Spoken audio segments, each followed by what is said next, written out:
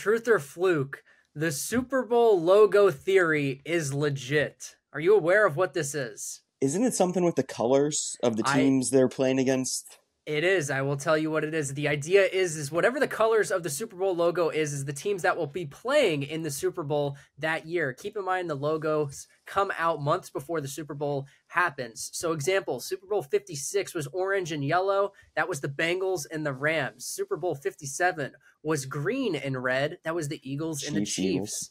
And now? Super Bowl 58 is red and purple. Are we going to get a 49ers and Ravens potential Super Bowl? I'm going with truth. It's scripted. Red and purple. Well, Uh, early early part of the year, maybe some teams would have said there. Maybe some people have said the Vikings. Look, this is a conspiracy like trio right here. We always talk about Does it go back? I got. I would have I'm to do a little yes. more. I would have to do a little more research because you just listed I a don't think couple that- years, but like I don't how think far the back colors- we go in here? I think the colors are new. That's what the thing is.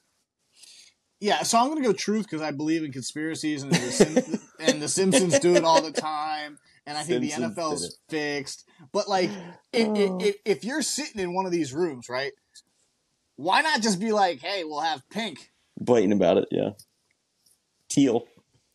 the Dolphins." If you just or, or, Oh, or- oh, no, no, you know what? I got a perfect one. Why don't you just go black and silver? Because the fucking Raiders are never getting there. You know what I mean? Like, oh. It's a waste of time, dude. You go with know, the I'm- Commanders colors too. Yeah, go with Ooh, that. Go with mm, fucking ooh. burgundy and gold, dude.